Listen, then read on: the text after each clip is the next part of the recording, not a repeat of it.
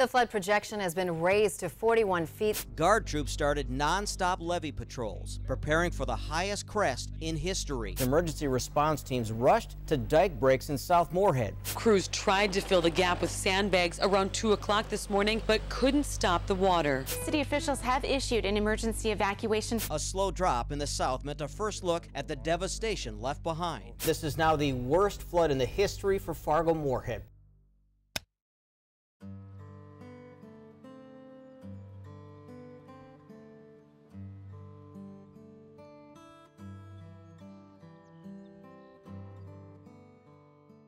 During times of flooding, all throughout Fargo's history, people along the river, their homes or their businesses were in peril. And where it was decided that they could sandbag, people heard about that and came to help. The key to this sandbagging and diking effort is the volunteers.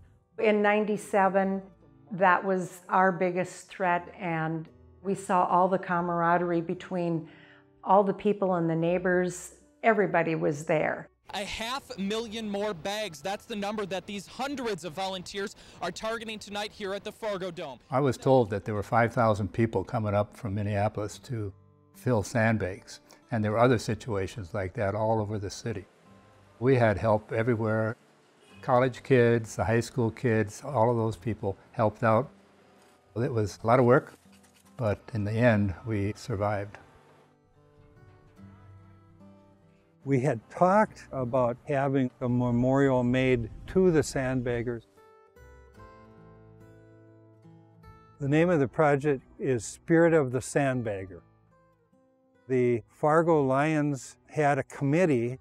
They issued a request for a proposal for a public art project. I talked to Karen Baki. She thought about it a while and she came back and she said, I'll do that.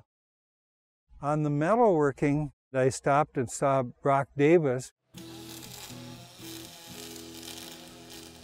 Mike Benson came to my shop and you know, started the conversation about wanting to build a, a, a memorial sculpture for the sandbaggers. And he had some paintings that he'd done where he actually went down to the site and hand painted and drew what his vision was. And I said, You tell me what you want and I'll build it for you. Brock and I think alike artistically, and Mike was analytical. We needed that balance, and I thought we were the dream team.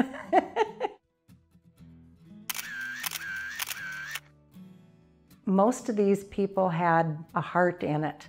So they were more than willing to do the modeling. And I'd bring them in, and we had sandbags, and I'd have them throwing sandbags back and forth trying to get the right pose and trying to get them to be real natural and forget about what I was doing as far as photographing. After the photos were taken, then I put them in a lineup compositionally for the whole thing as if they're filling the bags, passing them, and then stacking them, and with the firemen supervising to make sure that the wall is going to be a nice strong wall. I did the sketches and then I worked with the computer gave my thumb drive to Brock, and Brock did his thing. We just started with the bridge structure, the skeleton of it.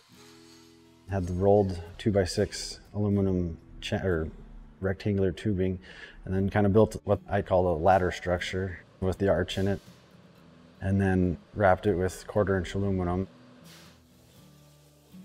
From there, we cut out all the silhouettes on the CNC plasma table. And then Karen and Mike came over and we set them where Karen had her vision and Mike's vision all come together. I can't say enough good things about both of those artists because we wouldn't have this piece of art if it wasn't for Brock Davis and Karen Baki.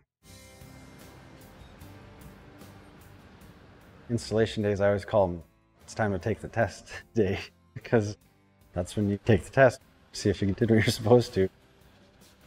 I brought the bridge structure down. Industrial builders used the telehandler to lift it off. I left right away to go pick up the silhouettes and was kind of sweating the whole time because they were going to set it while I was gone.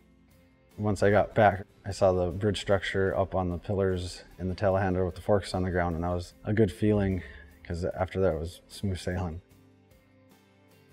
Working with Brock was a joy. There was a lot of footwork, and I was a little concerned about that when we started to get more people involved. I always say I'm dreaming with my eyes open. It's, it's fun just building, and creating. Never would have guessed that we'd have a structure like that downtown five, six years ago when I started this.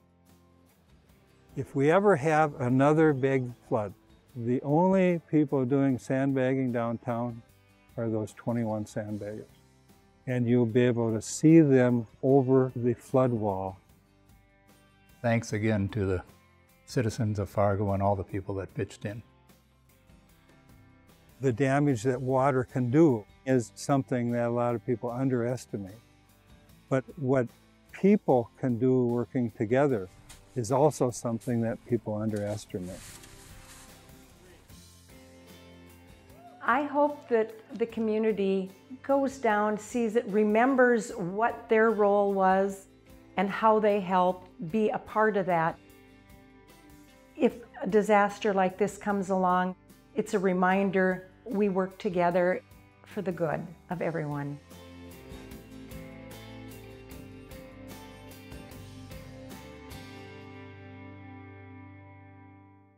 Funded by the Minnesota Arts and Cultural Heritage Fund with money from the vote of the people of Minnesota on November 4, 2008. And by the members of Prairie Public.